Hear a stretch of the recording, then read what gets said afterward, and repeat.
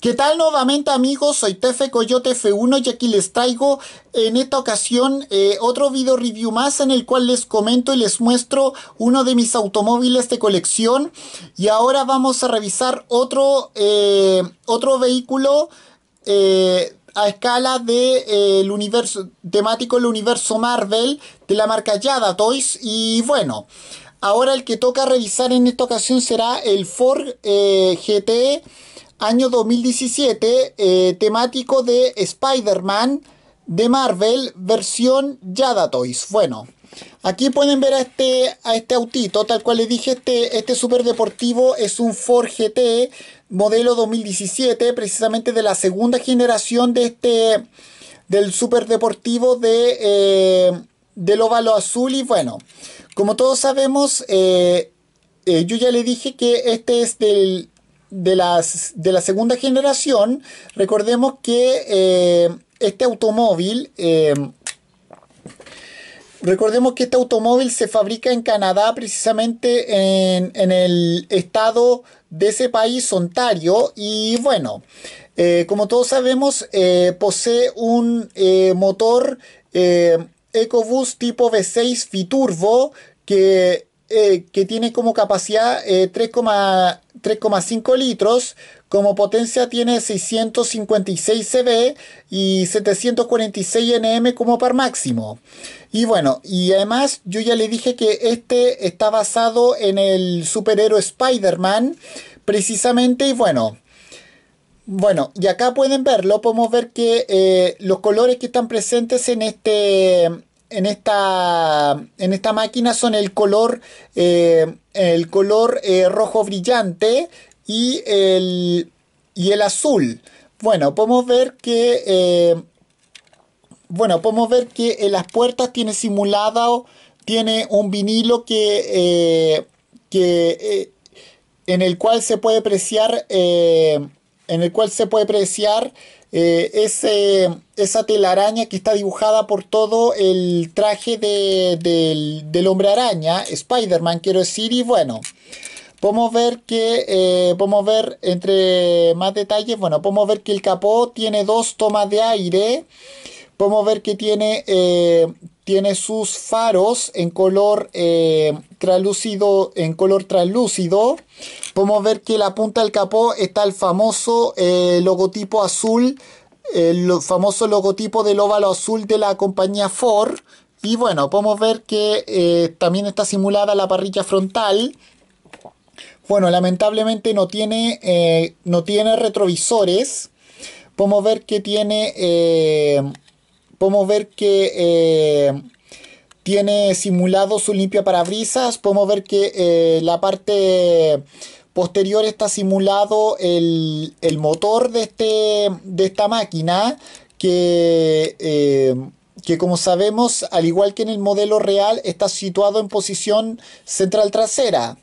Bueno, podemos ver que está, podemos ver que las llantas son en color negro y podemos ver que tiene eh, eh, neumáticos aulados y podemos ver el logotipo del el superhéroe Spider-Man eh, aplicado en color rojo en, ambos costados. Bueno, podemos ver eh, la parte posterior, bueno, podemos ver que tiene la salida de escape, podemos ver que están eh, en rojo translúcido, están, están las luces posteriores, podemos ver que en el espacio la, de la placa patente, la placa matrícula, está el, el logotipo oficial de la franquicia Marvel muy, muy bonito. Y bueno, podemos ver además que eh, como todos los autos a escala se les puede abrir, se le puede abrir las puertas. Eh, son puertas eh, tipo ala de mariposas, que al igual que las tipo ala de gaviotas se pueden abrir hacia arriba. Y podemos ver que, bueno, lamentablemente la, las la apertura de las el, el radio de las el radio de la de apertura de las puertas no, no es muy, no es muy eh, amplio. Y además, bueno, lamentablemente no les, no les voy a poder enseñar la, la sección interior porque eh, como las puertas tienen, como las puertas tienen muy poco, muy poca capacidad de, de apertura, no, no es, no, la visión es hacia, hacia, la visión hacia adentro es eh, muy escasa. Y bueno, vamos a, eh, vamos a eh, cerrarlas y bueno.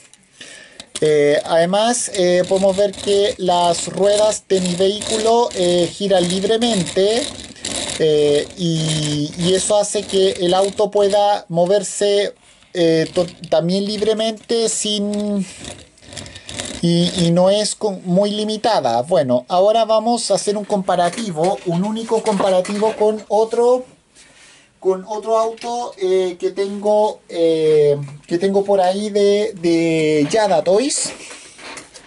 Vamos a compararlo con el eh, Batimóvil. vamos a compararlo aquí con el Batimóvil de la Liga de la Justicia de la película de 2017. Podemos ver que no hay mucha diferencia entre estos dos vehículos, como ustedes pueden apreciar. Vamos a hacerlo a un lado y bueno, para recomendarlo, se lo recomiendo 100% a todos los fanáticos del universo Marvel, también a los fanáticos de los automóviles, también se lo recomiendo 100%, y a los que son fanáticos del universo DC Comics, también se los voy a recomendar 100%. Yo ya les, eh, yo ya les reitero que voy a comprar eh, algún día autos de eh, autos a escala temáticos de no solamente de Marvel, también de DC Comics.